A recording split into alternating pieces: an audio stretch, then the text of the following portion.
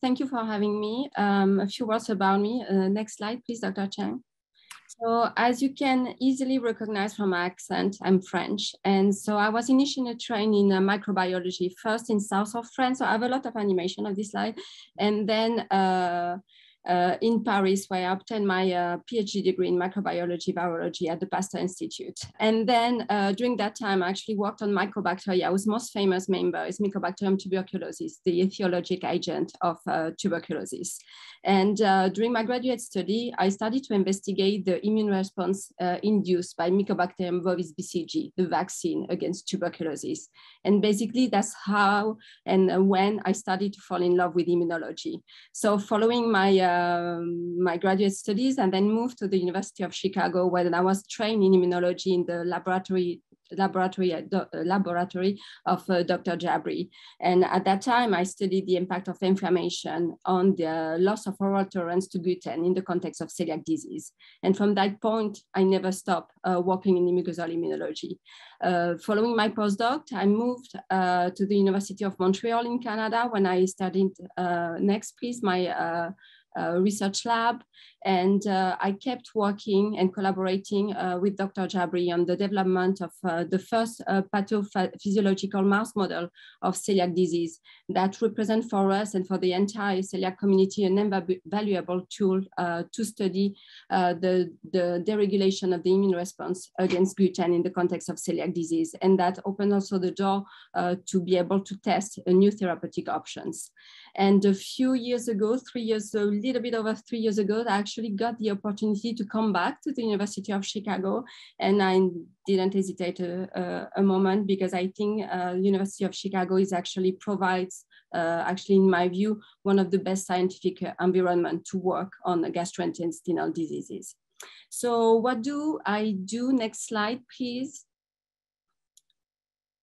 So um, uh, it is well acknowledged uh, in the context of uh, inflammatory bowel disease and celiac disease that T cells, or the so-called T lymphocytes, are actually the pivotal cells that play a role uh, for the pathogenesis, contributing to the induction of the inflammation and to deleterious uh, reaction that lead to tissue damage.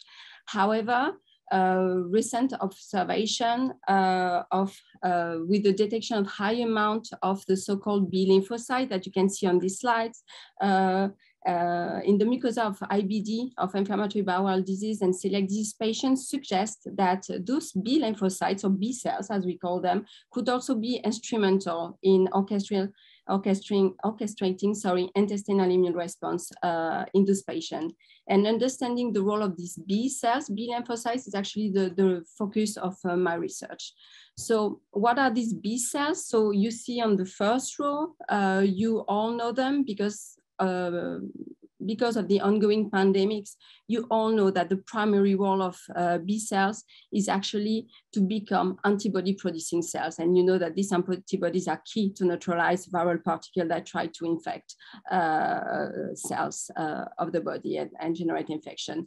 However, B cells and plasma cells, the cells that actually can produce antibodies, also, can also exert additional roles. So the second row uh, that you can see, they can, these B cells and plasma cells can also uh, interact with, with, T cells and promote the, this, their activation. Uh, next animation, please.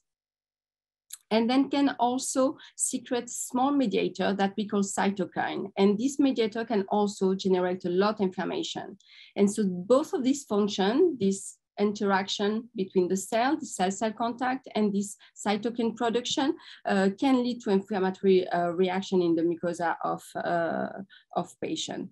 So uh, that's what we are studying. We are studying if both of these functions uh, play a role in the context of celiac disease and uh, inflammatory bowel disease. And this has uh, actually very important clinical implication because uh, B-cell depleting therapy have proven to be uh, very successful for the treatment of several autoimmune diseases such as multiple sclerosis.